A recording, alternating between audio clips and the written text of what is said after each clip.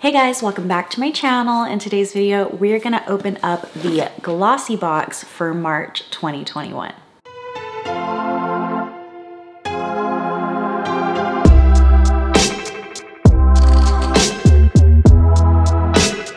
Glossybox is a monthly beauty subscription box and it ranges from $17.50 to $21. It depends on how you want to pay. If you want to pay monthly and then pay one month at a time, that's $21. If you wanna pay monthly and pay annually, so it's kind of confusing, you just are committing to annually, but you're still only paying monthly, that's $18. If you wanna do a prepaid pack, you can get that pack as low as $17.50, but you have to subscribe for the entire year and pay upfront.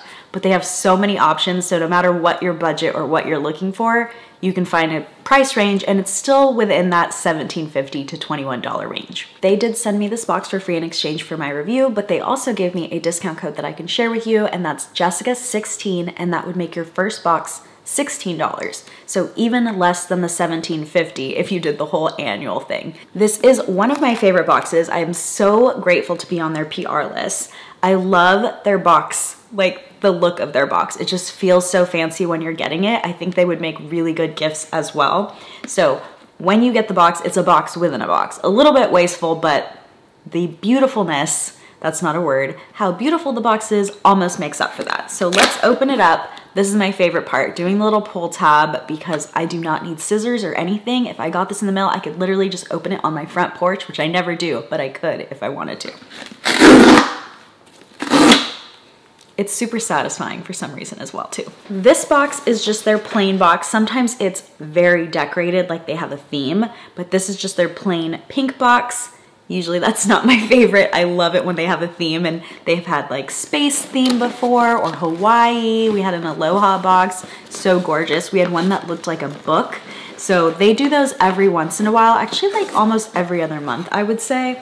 So last month they did have a decorated, I believe like 90s cassette tape box. So we're back to this box, but next month, if you sign up right now, you might get a really cool box. But every detail is just so quality. These boxes could definitely be reused. You could reuse them to gift items and you could reuse them for storage.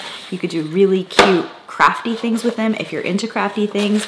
Also comes with a ribbon, like full on ribbon and that's also part of the fun as well. So this says that our theme is Pretty Pleasures, and this says Beauty Treats. We have some little macarons, I think that's how you say it. In the little pamphlet, you have a little info about everything, including MSRP for full size, because not everything in this box is full size, but you will also get full size items. So some of the items are deluxe minis, some of them are full size, and then some of them, every once in a while, are also sample size. First item is from Soon Skincare. I do know that this is a cruelty-free brand, so I love that right away.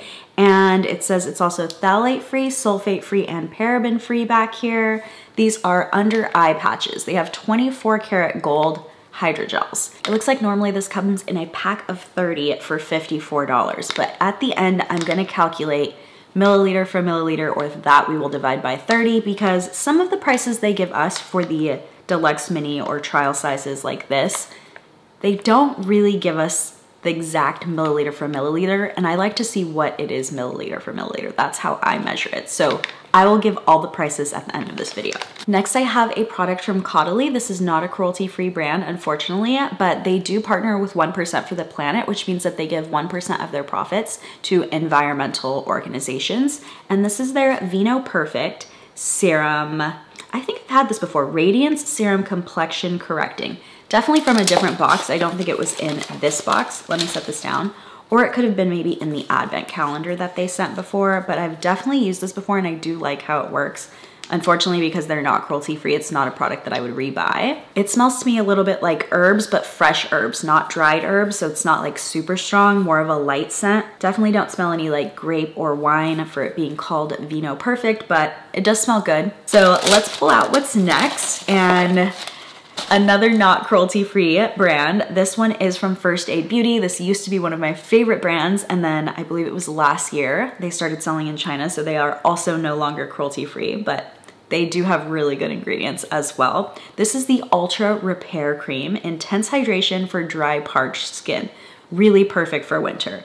And then it says it's safe for sensitive skin as well, but it says pink grapefruit on it. I usually don't think citrus is safe for sensitive skin, so that's interesting unless it's just fragrance, but I guarantee it has, yeah, it totally has grape, grapefruit peel oil and also has tangerine peel oil.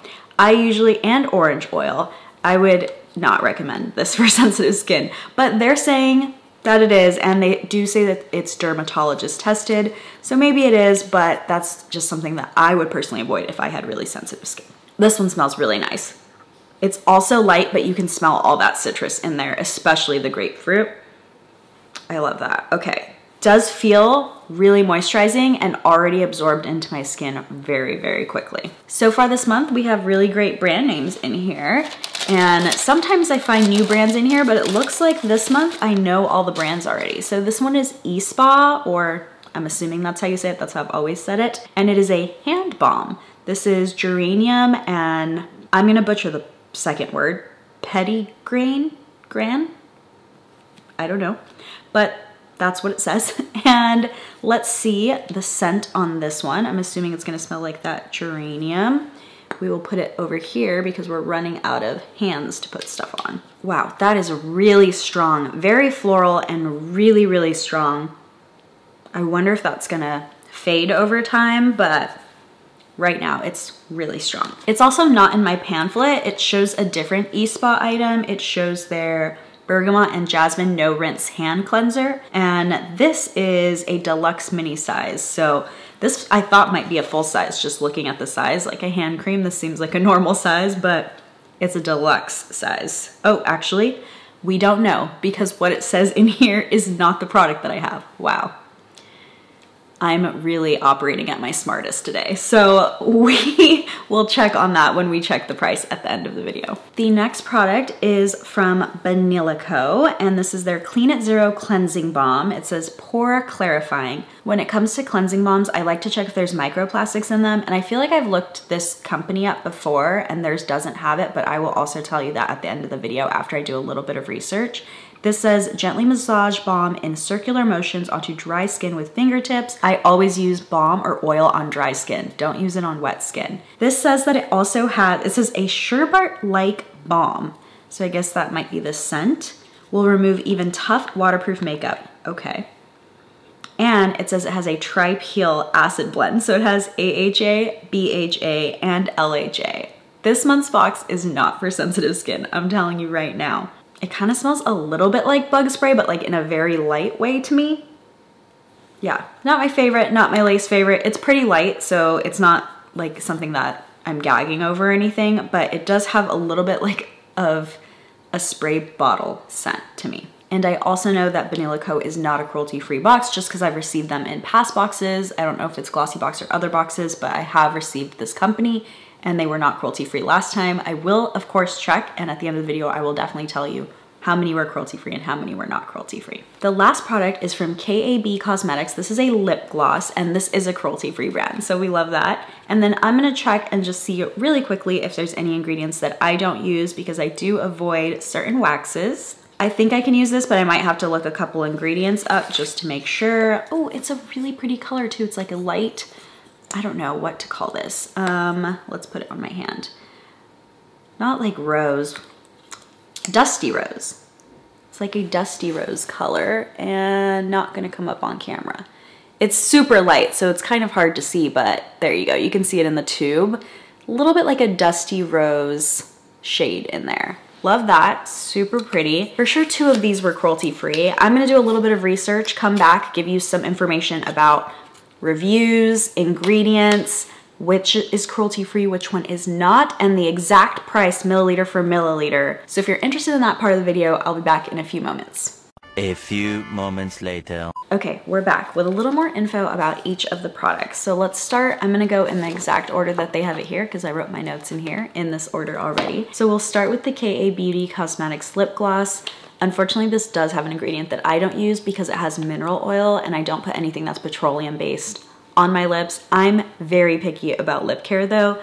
I'm not saying there's anything wrong with putting mineral oil on your lips, but this is just something that I personally won't use. So that's a little bit of a bummer because I was pretty excited that I was going to use it. And this is a full-size item, $18. It's also cruelty-free. This one did not have enough reviews available though. I usually don't quote any reviews unless I see 10 or more and then there's a trend in those reviews. Very cool though, very pretty color if you don't care about putting mineral oil on your lips and you're not like super picky like I am definitely a good product to get. Next on our list is a deluxe sample. So milliliter for milliliter, this is a $6 value. So 18 plus six, we're up to 24. This product says intense hydration for dry, parched skin. And a lot of people were saying how great it was for their dry skin, flaky skin, or like dry patches on their skin. There were also some that said it was good for acne prone skin, so it didn't cause any acne. However, I did find more than one reviewer that said it is not good for sensitive skin. And they say on here, safe for sensitive skin.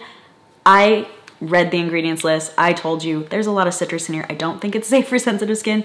And the reviews kind of agree with that. People say like sensitive skin beware. Overall though, it does get pretty good rating, 4.6 star. So that's pretty good. And it has 19,000 reviews. So it's a very popular product. And I already mentioned it, but this one is not cruelty free. I forgot to tell you where this one was made over here. This is made in China and then this one is made in the USA. Next we have the little Clean It Zero. This is also a very popular product. This one had a 4.5 star rating with 633 reviewers, but that's on this specific type. This is the clarifying version. There was a lot of Clean It Zero balms and they all had a ton of reviews. So I do feel like this is a pretty popular product and a lot of the reviewers were saying this is their Holy Grail Balm. I did check and it does not have any microplastics in it, so if you are worried about the environment, this one is safe to use if you're like eco-conscious, eco-friendly. But again, this brand is not a cruelty-free brand. And this is also a deluxe sample, milliliter for milliliter. This is a dollar and 10 cent sample. This product as well, I said that it was, maybe the scent was supposed to be sherbet because it says sherbet, but it's the texture is supposed to feel like sherbet. I don't know what sherbet is supposed to feel like. Yogurt, is that what it's supposed to feel like? Ice cream? I don't know. It's not cold, so they say it feels like sherbet. And then this product is made in Korea. It is a K-beauty brand. So far we have a $25.10 value and that's good enough for me. I've already made my money for my box. We still have three other products though. And the next one is kind of a pricey product. It is the Caudalie Vino Perfect. This is a deluxe size and the retail value is still $26.33. That's how expensive the full size is. So full size would be $79. I love getting things like this in the box because there's no way I'm gonna go buy that with my money. And so I get to use something that I would otherwise not get a chance to try. But also it's a little bit annoying because if I fall in love with it, I'm not gonna keep buying it. So I don't know. It has its pros and it has its cons. For me, it doesn't matter though because I wouldn't buy it anyways. This is not a cruelty-free brand. And then overall, this one had a 4.3 star rating with 8.5 thousand reviewers. A lot of people were saying that it was very hydrating and that it helped with their dark spots. There's actually an ingredient in this. They have their own proprietary formula. It's not listed as an ingredient back here, but it's a collection of those ingredients. And they say that it's 62% more effective than vitamin C.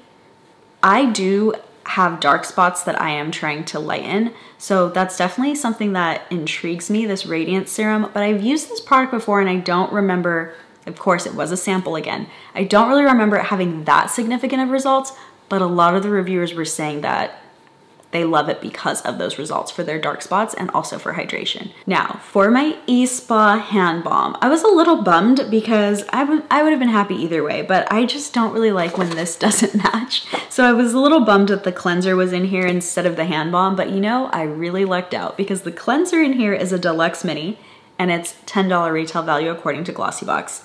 This is a full size hand balm. And I remember I said, oh, I think this looks like full size, but it's not. No, it totally is. They're just listing the wrong product for me. So this is full size and it's a $25 retail value. So that really brings up the retail value of my box. Just this item is more than if I paid full price for the box, $21. And I did look it up, ESPA is a cruelty-free brand. Unfortunately, this one does not have very many reviews, but I can give you my review just from putting it on. Very floral scented. If you're sensitive to scents, this one has a lot of fragrance or scent in it, but it's very thick and it absorbed really, really well. I can't feel anything. There's no greasiness, no sticky, nothing like that. So I do like it. I'm just hoping that the scent dissipates over time because I am a little bit sensitive to scent. But I'm glad that I got this instead of the cleanser now because I feel like I just hit the jackpot got more than double what that value would have been. And the last item is a small sample because normally this comes in a little container with 30 of these hydrogel patches. So this does make it only a dollar and 80 cent retail value. Again, this is a cruelty-free brand. It's not vegan, but it is cruelty-free. It has marine collagen, which is made from fish skin. That's why it's not vegan. And I love marine collagen. Collagen will not penetrate your skin though, so it's not gonna actually like go in and just plump your skin, but they still see very significant anti-aging benefits from using collagen and especially marine collagen because the type of collagen we have in our skin is more closely related to marine collagen than to bovine collagen. So definitely marine collagen is the one you want to be applying topically for skincare. It also has sodium hyaluronate, which is my favorite anti-aging ingredient. That does penetrate your skin and it also brings moisture in. So it can plump from the inside out and then reduce any fine lines or anything like that. So that's why I really love that ingredient. It's amazing for anti-aging. If you're looking for anti-aging, put sodium hyaluronate in with all of your other things. Make sure you're putting a moisturizer on top. This also has 24K gold, or I don't know how much gold, but it does have gold in it. So also another anti-aging ingredient in here. Love the idea of putting this around my eyes and like any of those little tiny fine lines that are starting to pop up. Definitely gonna get some use out of this. Very excited to try it. Like I said, it's not vegan because of that collagen, but it is a cruelty-free brand. And this one also did not have enough reviews available online.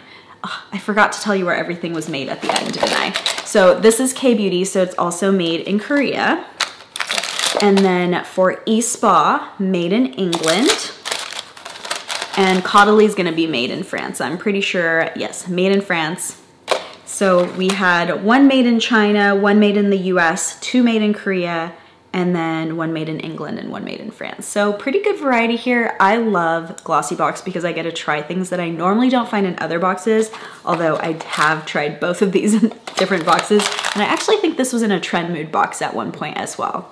Not 100% sure. So I have actually tried in this particular set. This box ended up being 50% cruelty free and 50% not cruelty free. That's not my favorite, but this is still one of my favorite boxes to get just the presentation is always so pretty. And I get to try brands that are not typically in other boxes because this is a European based company. So we get to try some other brands, at least those of us that are not in Europe, get to try some other brands that we normally don't get in like BoxyCharm or Fashionsta the Box or all the other beauty boxes that I get. So that is my review of the March box. Of course, down below, please list your favorite product of the six products that we received. I think mine will probably be the eye gels. I know it's the like tiniest sample. The hand cream also felt really good, but I think it's this one for me this time. Let me know yours down in the comments down below. Thank you guys so much for watching and I will see you guys next time. Bye!